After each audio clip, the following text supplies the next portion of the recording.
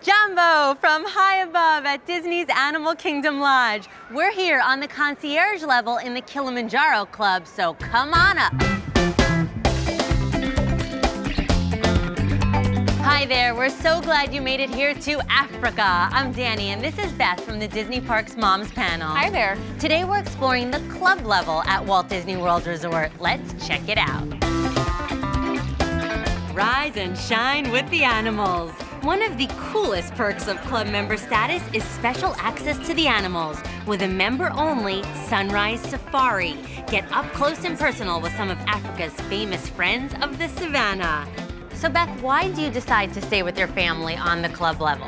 Well, I really like that club level guests have a place of their own. So it's a separate space that requires special access and it's away from the hustle and bustle of the parks and the everyday. A nice little getaway for the family. Definitely.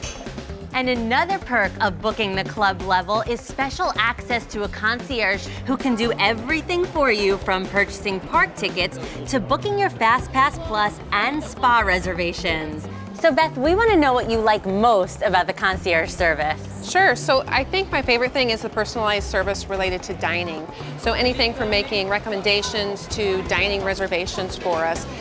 And with concierge level status, food is always just a few steps away. Breakfast starts early, 7 a.m. And throughout the day, African snacks, chai tea, even wine and beer in the afternoon are offered. Come nighttime, cordials and dessert spreads are out. Beth, as a mom, you must love having access to something like this. Oh, I do.